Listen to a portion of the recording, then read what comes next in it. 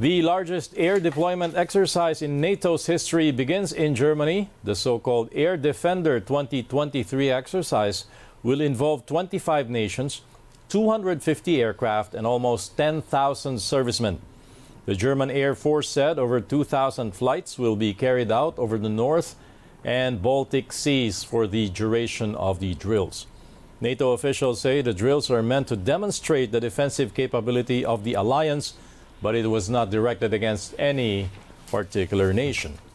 Former U.S. President Donald Trump now in Miami, Florida, ahead of his scheduled court appearance on Tuesday. Trump is facing criminal charges of unlawfully keeping national security documents and lying to officials who tried to recover them.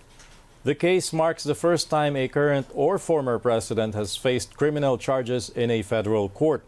The Republican leader has proclaimed innocence and vowed to continue his campaign to regain the presidency in 2024.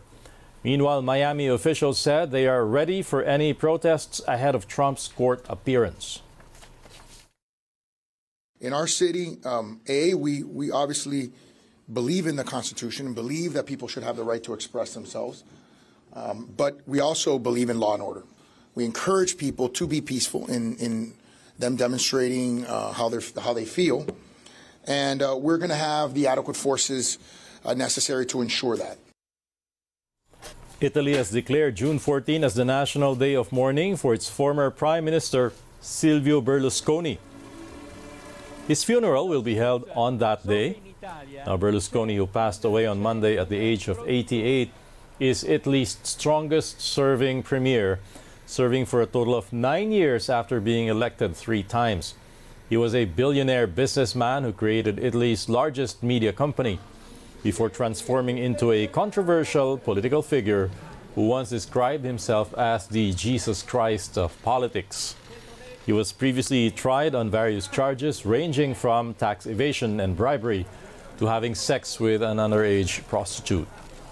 He had been suffering from leukemia and had recently developed a lung infection. The Netherlands and Canada are taking Syria to the International Court of Justice over torture allegations. In their application, the two nations claimed Syria has committed violations of international law by mistreating detainees committing sexual violence and allegedly using chemical weapons. Canada and the Netherlands called on the ICJ to issue urgent orders for Syria to seize all acts of torture and cruel treatment. This is the first time Syria has faced international justice over the conflict, which erupted after President Bashar al Assad cracked down on protests in 2011, which has killed over 500,000 people. The Golden Globe Awards has a new owner. The Connecticut based holding firm Eldridge has taken over the assets from the scandal hit Hollywood Foreign Press Association for an undisclosed prize. The journalists group that created the award show will be dissolved following the transaction. The HFPA has been plagued by allegations of corruption, racism, and amateurism that led to an industry wide boycott last year of both the Globes and the association.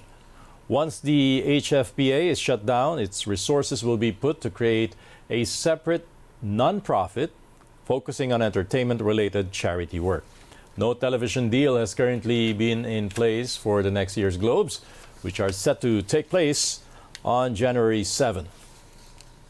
Good news for commuters. A new ride hailing company is coming to Manila. California based InDrive is looking to begin operating in the Philippines before the year is out.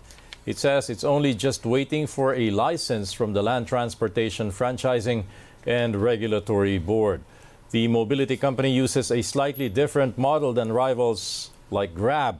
It will allow drivers and commuters to negotiate the fare with both having the freedom to accept or turn down the offer. Its commission is also lower than others, capped at under 10%. The 11 year old company is present in 47 countries, including Indonesia, Malaysia, and Vietnam. An expert allays fears over how the rise of artificial intelligence can lead to job losses. Dr. Cynthia Breazeal of the Massachusetts Institute of Technology says AI was created by humans and the extent of its use would also be determined by its design. She also highlights the importance of developing AI technology responsibly. The approach that we must take is that AI is a tool, it's a technology. It can really help empower and elevate our ability to be creative and to solve problems. So that's what we should focus on. So again, this is for us to design. This is for yes. us as humans, as society to choose. So we need to choose to design these technologies and these tools to enhance and uplift what people do. Because we have our human values, we have the wisdom, we have the sense of what's important to us. AI doesn't have that, yes. right? But it is a real enabler for those who can use it as a tool to really enhance their ability to accomplish, you know, the important creative problem-solving tasks. The head of the United Nations is in favor of creating an international artificial intelligence watchdog. Secretary General Antonio Guterres says the warnings of scientists and experts against AI technology must be taken seriously. New technology is moving at warp speed, and so are the threats that come with it.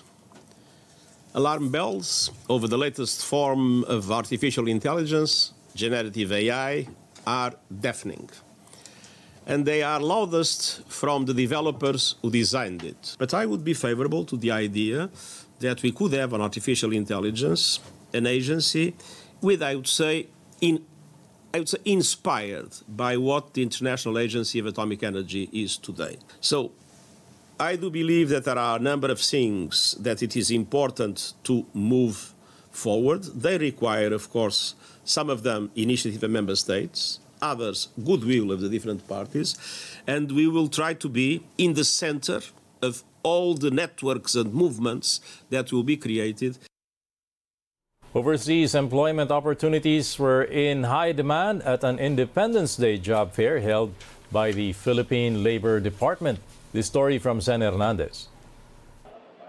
Job seekers took advantage of the Independence Day holiday to hunt for jobs. Among them is Jamal, who has a degree in education since 2020 but has yet to land a job. He came all the way from Lanao del Norte and was first in line at the Labor Department's job fair in Quezon City. Nakita ko lang po sa TV Patrol, ma'am, sa balita, ma'am. Mahirap po yung source of income po talaga doon sa Lanao po, ma'am. Oo, sobrang hirap po talaga. Kaya kailangan mo pang dumayo dito para makahanap ka po ng, ano po, ng trabaho po. 1,379 employers offered over 110,000 job vacancies in the Doles Kalayaan Job Fair this year. Most positions came from manufacturing, retail, sales, business process outsourcing, construction, finance, and insurance. The Dole previously said 11% of applicants during job fairs usually get hired on the spot. Among the lucky ones this year are working student Jay Mar, who got hired as a sales clerk, and Jefferson, a factory worker. Super overwhelming po kasi parang sa malit po or sa konting experience ko po na, na meron ako, natanggap po ako somehow. Saya po kasi po, ito po may work na po ulit after ilang months po. But there was a noticeably longer queue of applicants at the booth for overseas jobs. This recruitment agency has job orders for 500 cleaners in Saudi, 150 factory and construction workers in Japan, housekeepers and butchers in Croatia, and sales personnel for Qatar. Sa ibang bansa ka, doble yung kita mo eh, di ba? Oo, dito. Ay doon kasi libre lahat. Hmm, di, di ka magbayad ng tubig, bahay. Mahirap po dito, tas mahirap, malaking standard pero maliit lang yung salary. Sa ngayon kasi balikan na naman, wala naman tayong pandemic ngayon. So we need more uh, for uh, Japan and then Middle East. Thousands of other job seekers went to the Department of Migrant Workers job fair. Almost 12,000 job orders for positions like nurses, welders, construction workers, and waiters were up for grabs, with the destination a mix of countries from the Middle East, Europe, and Asia. Dito po, ang job fair natin, siguradong lisensyado ang ating mga recruitment agencies. Although it is clear that Filipinos are being offered attractive salaries overseas, the Labor Department is appealing for job seekers to consider the social cost of being away from family. The Dole is confident as well in the improving employment landscape due to potential investors in the country. According to Secretary Laguesma, he was able to speak personally to a logistics company based in Thailand planning to expand to the Philippines. Budget carrier Air Asia also announced additional investment. Bumubukas ang ating ekonomiya dahil maging sa manufacturing, uh, meron na pong mga vacancies nakikita, lalo na sa services, no? retail and services, yung mga production lines natin, and even yung financial, you know, BPO, uh, yung tourism natin, medyo maganda ang uh, nakikita natin na ikang pangitain o larawan. Job seekers, meanwhile, may still apply for all the job vacancies left unfilled from today's job fairs online through the government's employment portal PhilJobNet. The DMW will also launch an online job fair soon. Zen Hernandez, ABS-CBN News.